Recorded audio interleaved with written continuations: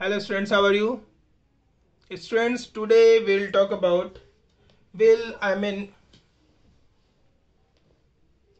continue our discussion and uh, we were talking about in our previous video about the electrolytic cell तो electrolytic cell में जो हमने last video में पढ़ा था उसके आगे कुछ पढ़ेंगे सपोज़ एक इलेक्ट्रोलिटिक सेल है you would be aware of it इसमें एक पॉजिटिव टर्मिनल ये बैटरी इसमें कनेक्ट होती है दो इलेक्ट्रोड से okay one is anode another one is cathode जब इलेक्ट्रिसिटी से पास की जाती है ओके okay, तो ये जो हमारा इलेक्ट्रोलाइट सोल्यूशन है which is having the electrolytes ये इलेक्ट्रोलाइट्स की cation and and they moves I mean towards different electrodes यही पढ़ा था हमने लास्ट में।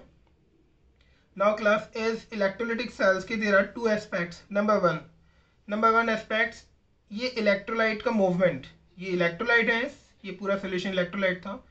Whenever the electricity is passed the electrolyte moves okay towards cathode and anode cation moves toward cathode and anion moves towards anode तो उनके movement का, वो किस तरीके से मूव करते हैं, उनके क्या एस्पेक्ट्स हैं, उनके मूवमेंट के ऊपर इस इलेक्ट्रोलिटिक सोल्यूशन के कॉन्सेंट्रेशन का क्या इम्पैक्ट होगा, उनके मूवमेंट पर टेम्परेचर का क्या इम्पैक्ट होगा ओके उनके मूवमेंट का actually I just want to say in electrolyte के movement towards cathode and anode का एक अलग एस्पेक्ट है जो हम बाद में पढ़ेंगे। वो कैसे मूव करते हैं कॉन्सेंट्रेशन का क्या इम्पैक्ट है उनका ऊपर टेम्परेचर का क्या इम्पैक्ट होता है, वो सारा एक एस्पेक्ट है, वो हम अलग पढ़ेंगे।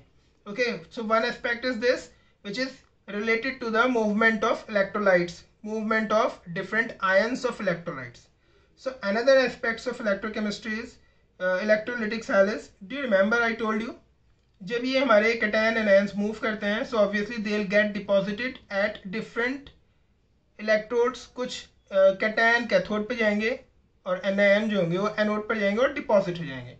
Do remember I told you cell deposited अब ये जो डिपॉजिट होते हैं ये भी कुछ rules and rules and laws को फॉलो करते हैं how they are get deposited उन रूल्स किस तरीके से डिपॉजिट होते हैं कितना अमाउंट डिपॉजिट होता है कितनी इलेक्ट्रिसिटी इसमें चलनी चाहिए जिससे इतना अमाउंट डिपॉजिट हो वो सारे एस्पेक्ट्स जो है वो आज हम पढ़ेंगे। एंड ऑल दीज एस्पेक्ट्स जो ये डिपॉजिशन से रिलेटेड जितने भी एस्पेक्ट्स हैं they comes under the Faraday's law okay so today will talk about the first law of Faraday's okay Faraday के फिजिक्स में भी लॉज हैं, but now we are talking about the Faraday's first law of electrolysis. It is first law of electrolysis. Okay, class. So according to first law of Faraday's first law of electrolysis, it says the amount of any substance deposited amount of any substance deposited at any electrode मतलब amount of any substance which get deposited at any electrode चाहे इस पर चाहे इस पर the amount of any substance deposited at any electrode is directly proportional to the quantity of electricity passed through the electric electrolytic solution what is the meaning of this मतलब ये कह रहे हैं कि इन इलेक्ट्रोड दोनों इलेक्ट्रोड पर the amount of any substance which get deposited वो एक्चुअली डिपेंड करता है किस पे डिपेंड करता है कि कितनी इलेक्ट्रो इलेक्ट्रो कितनी electricity is passing through this electrolytic solution मतलब जितनी इलेक्ट्रिसिटी हम इसमें बढ़ाएँगे आर यू गेटिंग मी जितनी इलेक्ट्रिसिटी हम प्रोवाइड करेंगे, उतना ही अमाउंट सब्सटेंसेस का वो इलेक्ट्रो वो इलेक्ट्रोड पर जाकर डिपॉजिट होगा। आर यू गेटिंग मी जितनी इलेक्ट्रिसिटी हमने बढ़ाई, उतना ही अमाउंट जो इलेक्ट्रोलाइट्स हैं, उनका डिपॉजिट होगा इलेक्ट्रोड्स के ऊपर, दोनों इलेक्ट्रोड्स के ऊपर। या दोनों में से किसी भी इलेक्ट्रोड पर are you getting me so it means we can say the electric I mean the amount of any substance get deposited on different electrodes of electrolytic cell is directly proportional to the electricity flowing in the whole electrolytic solution are you getting me अब इसका mathematical representation क्या है? Suppose amount amount of uh, any substance which get deposited suppose ये W है okay? So according to Faraday's law W is directly proportional to the amount of electricity flowing in the circuit. Electricity means it is the aspects of it is charge. Electricity is what? It is charge q is charge which is flowing in the circuit. It is directly proportional to this electricity okay अब मैं इस proportionality proportionality sign को अगर remove करूँ so we'll have to put here Z I mean we'll have to put here Z Z is a constant okay so formula becomes like this no what is this Z this is electrochemical equivalent it is electro chemical equivalent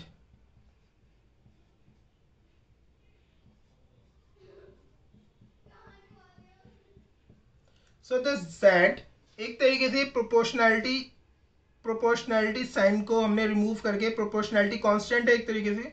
So this proportionality constant which we are using here it is nothing but it is called electrochemical equivalent class is it clear and you know one thing q is equal to charge everyone know q is equal to it electricity into time so can we put here so w is equal to now it will become z i t this is another formula are you getting me it would be clear to all of you class now अब मैं इसको remove कर देता हूं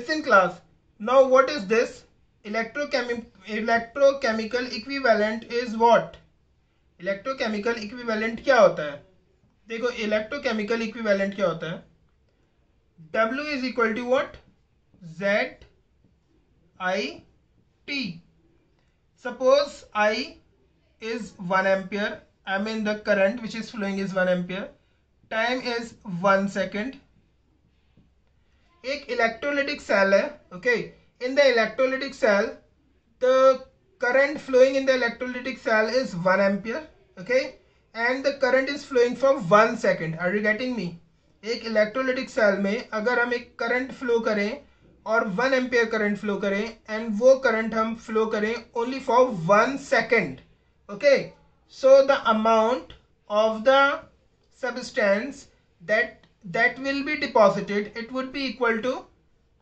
z into 1 into 1 so w is equal to z are you getting me इससे क्या पता लगा हमें कि electrochemical equivalent is nothing but the amount of the substance that will get deposited at the electrode when in the electrolytic cell 1 ampere current is flowing for one second, okay?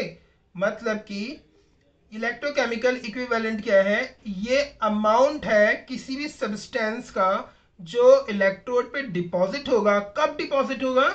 जब उस electrolytic cell में one ampere current flow करता है सिर्फ़ एक second के लिए। सो so एक्चुअली ये एक तरीके से वेट एक तरीके से ये मास है। मतलब एक तरीके से मास है उस सब्सटेंस का। जो किसी इलेक्ट्रोलाइटिक सेल के इलेक्ट्रोलाइट पे डिपॉजिट होता है, जब उसमें वन एम्पेयर करंट फ्लो करता है for one second is it clear class तो if the definition of electrochemical equivalent comes in the exam then you have to write like this as I told you okay चाहो तो मैं इसको लिख देता हूँ। मैं इसको रब कर देता हूँ।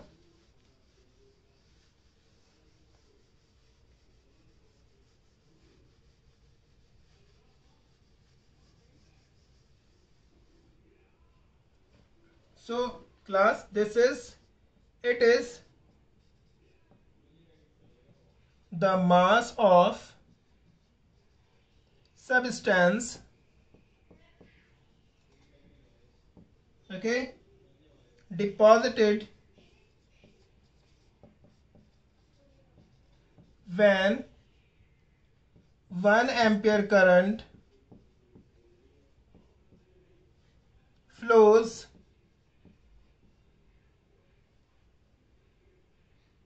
for one second in electrolytic cell. Is it clear class? So this is electrochemical equivalent Z. This is Z. Okay class. Now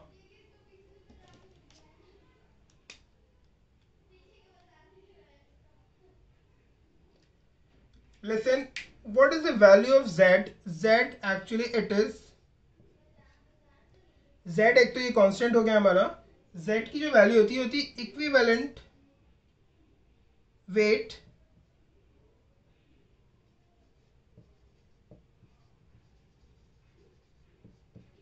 मैं इसको रब कर देता हूँ यहाँ पे it is actually equivalent weight divided by Faraday. Do you remember Faraday? Faraday is what? Faraday is the charge on 1 mole of electrons. Do you remember Faraday's value क्या होती 96500 coulomb is the value. Okay class? I think it would be clear to all of you.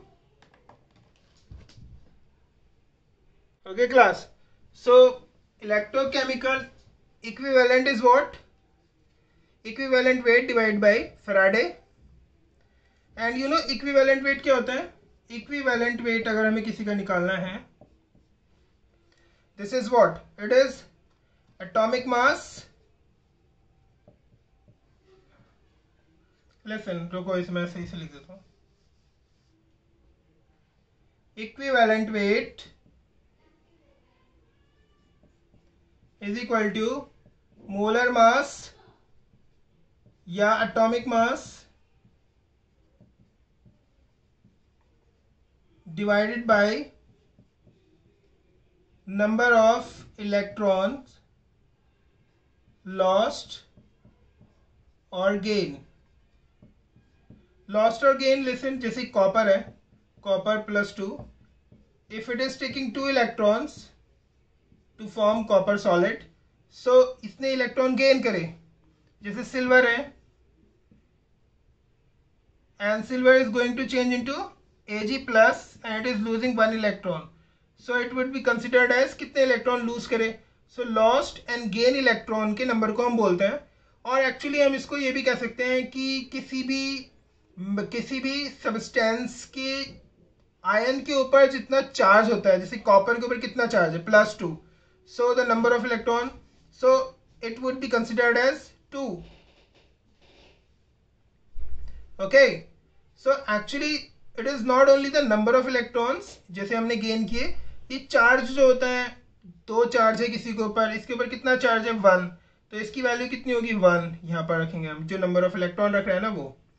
So so, इसको हम यहाँ पे valency भी ले लेते हैं। आप लोग क्योंकि इलेक्ट्रोकेमिस्ट्री के हम बारे में बात कर रहे हैं तो यहाँ पे नंबर ऑफ़ इलेक्ट्रॉन लॉस्ट और गेन ही एक अप्रोप्रिएट यहाँ पे डेफिनेशन लग रही है। तो यहाँ ये लगाना चाहिए हमें। आर यू गेटिंग मी ये लगाएँगे। So now listen class scrub कर देता हूँ। अब सिंपली ये हमें पता लग गया, अगर मैं जेड में यहाँ रख दू इसको वैल्यू को this is what atomic mass divided by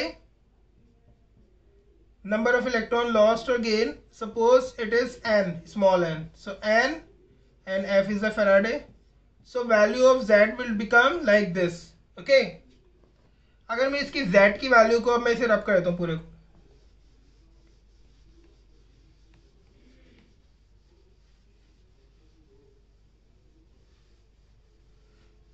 I think आप लोगों ने वो ऑब्ज़र्व कर लिया होगा, लिख लिया होगा।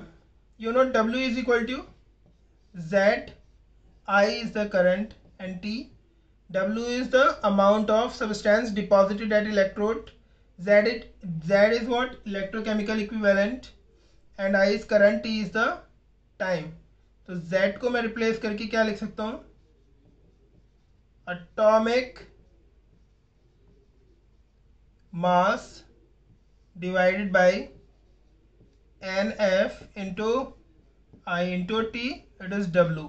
ये एक हमारा फॉर्मूला हो गया। इज़ इट क्लियर क्लास ये एक बहुत ही इंपॉर्टेंट फार्मूला है। वैसे मैं इस फॉर्मूले से भी कुछ न्यूमेरिकल कराऊँगा और एक कुछ ऐसे भी कराऊँगा जो इन फॉर्मूले यूनिटरी मेथड भी बताऊँगा, जो ज़्यादा बेटर है।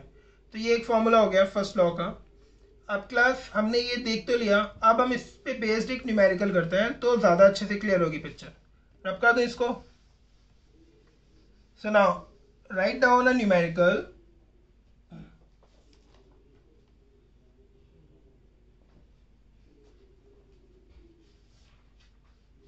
listen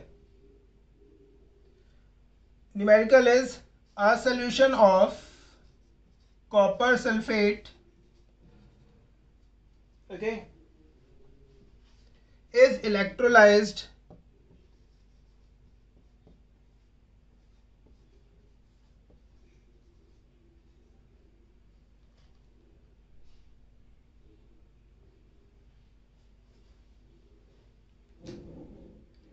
for 10 minutes a solution a solution of copper sulfate is electrolyzed for 10 minutes okay?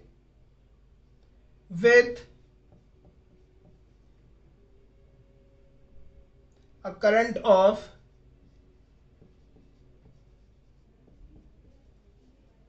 one point five ampere.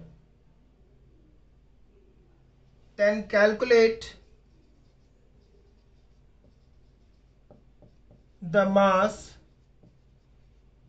of copper deposited no class what the question is saying the question is saying there is a solution of copper sulphate electrolytic cell है हमारा एक okay इस electrolytic cell में ये दो हमारे electrodes हैं। हर बार इसको बनाने की ज़रूरत नहीं है। बस मैं बता रहा हूँ, ये इलेक्ट्रोलिटिक सेल है। They are saying there is a electrolytic cell and in this electrolytic cell there is copper sulphate solution इसमें क्या करा हमने? करंट इलेक्ट्रिसिटी यहाँ पे इलेक्ट्रिसिटी हमने फ्लो करी। कितनी करी? करंट है 1.5 पॉइंट एम्पियर हमने फ्लो किया। सो so, और कब तक फ्लो किया? टाइम दे रखा है इट इज़ 10 मिनट्स 10 मिनट्स तक हमने फ्लो किया।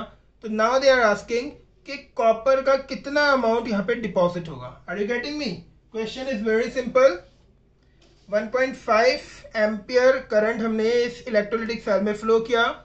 How long for how long only for 10 minutes so now they are asking what amount of the copper would be deposited at the electrodes are you getting me class so पहले तो मैं इसे एक आपको फॉर्मूले की base पे फॉर्मूले से कैसे करते हैं वो दिखाता हूँ आपको।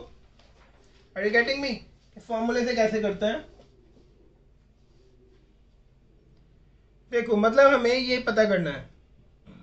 Okay class we know W is equal to Z I T ये हमने फेराडेज फ़र्स्ट लॉ है। ओके सो यहाँ पर जेड का याद होगा आपको। जेड का मैंने क्या लिखा है? एटॉमिक मास डिवाइड बाय कितने इलेक्ट्रॉन फ्लो करते हैं? लॉस्ट और gain electrons into Faraday into I into T now listen class everything is given atomic mass किसकी बारे में बात कर रहे हैं? We are talking about copper कितना कॉपर डिपॉजिट हुआ? Where is copper deposited so atomic mass of copper कितना होता है? It is 63.5 okay it would be given in the question most of the time it is given. Current कितना flow कर रहा है? I is also given one point five ampere okay time is also given time is ten minutes can I remove this right no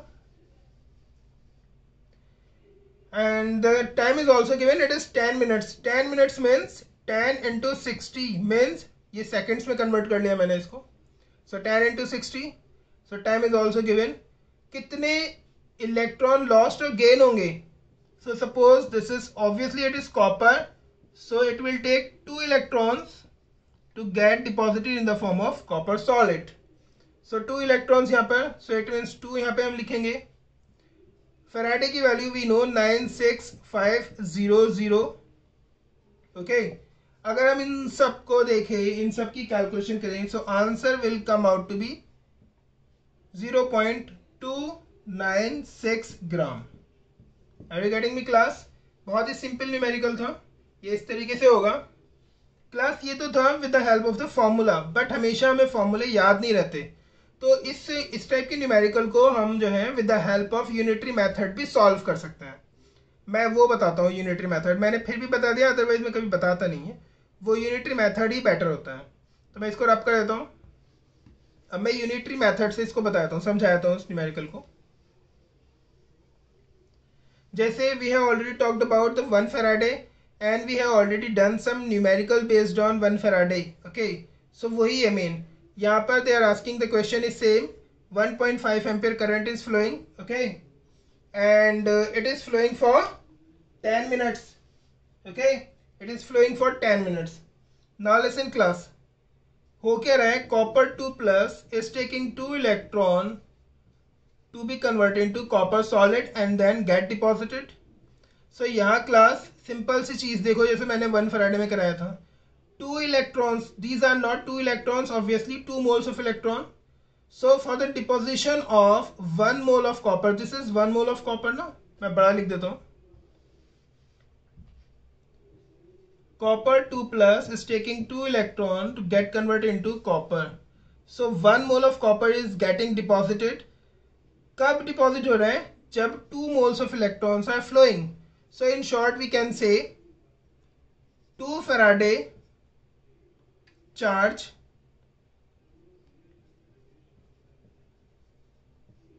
flows for the deposition of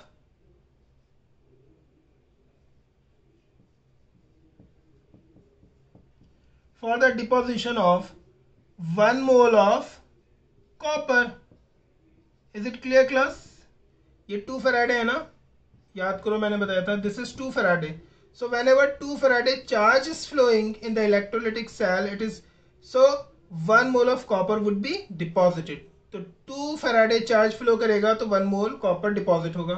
is it clear class मैं two Faraday को Faraday की value रख लेता हूँ nine six five zero zero coulomb so it means can we say two Faraday charge और two into nine six five zero zero coulomb charge flows for the deposition of 1 mole of copper means class one mole of copper मतलब one mole copper का mass कितना होता है? Molar mass के equal होता है। One mole of copper means molar mass तो copper का मोलर मास कितना होता है? 63.5 gram of copper are you getting me? One mole or we can say 63.5 gram of copper मतलब टू फराडे चार्ज फ्लोज करता है for the deposition of one mole of copper इसको हम अलग वर्ड में ऐसे भी कह सकते हैं two into nine six five zero nine six five zero zero coulomb charges flow करता है for the deposition of either one mole of copper or we can say 63.5 gram of copper because it is the molar mass of copper. Is it clear, class? Simple सी चीज़ है। सबके समझ आ रहा होगा? Now अब एक चीज़ हमें ये देखनी कि चार्ज कितना फ्लो कर रहा है। पहले तो हम ये निकाल लेते हैं। चार्ज, हमें एक हम जानते हैं क्यू इज़ इक्वल टू यहाँ निकाल लेता हूँ, ये बाद में करेंगे। क्यू इज़ इक्वल टू क्या होता है? क्यू इज़ इक्वल टू होता है आई टी ओके तो चार्ज करंट कितना है? 1.5 कितने टाइम के लिए हो रहा है? 10 मिनट्स मीन्स 60 इन सबको मल्टीप्लाई करेंगे तो आएगा 600 coulomb. Okay class so actually इसमें कितना चार्ज फ्लो कर रहे हैं इलेक्ट्रोलिटिक सेल में? 600 and 900 coulomb charge is flowing in the electrolytic cell is it clear class 900 coulomb charge is flowing in the electrolytic cell ये तो क्लियर है, ये क्वेश्चन से मैंने निकाल दिया। अब मैं रब कर दू इसको। अगर इतने फराडे चार्ज फ्लो करता है तो कॉपर 63.5 ग्राम कॉपर डिपॉजिट होता है। लेकिन अगर वन कुलाम चार्ज फ्लो करता है तो कितना कॉपर डिपॉजिट होगा? 63.5 divide by into nine six five zero zero gram of copper but circuit में कितना चार्ज फ्लो कर रहा है? Q is equal to I T one point five into one into sixty nine hundred coulomb charge is flowing okay so कितना charge flow कर रहा है circuit में? Obviously nine hundred coulomb charge is flowing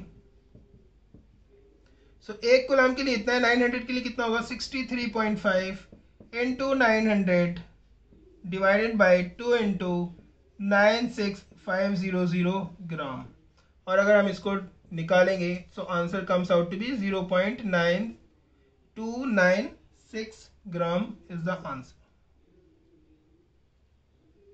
so class it depends on you कि आपको कौन सा method पसंद आ रहा है, जिस मेथड से आप करना चाहें। ये मैंने सिंपल मेथड ही बताया, क्योंकि हम ऑलरेडी यूनिटरी मेथड ये फेराडे वाला लॉ पढ़ चुके हैं फेराडे के कंसेप्ट वन फेराडे का। तो उसी से को रिलेट करके मैंने ये बताया है। Okay class I think it would be clear to all of you इसे जस्ट ऑब्ज़र्व करो आप लोग।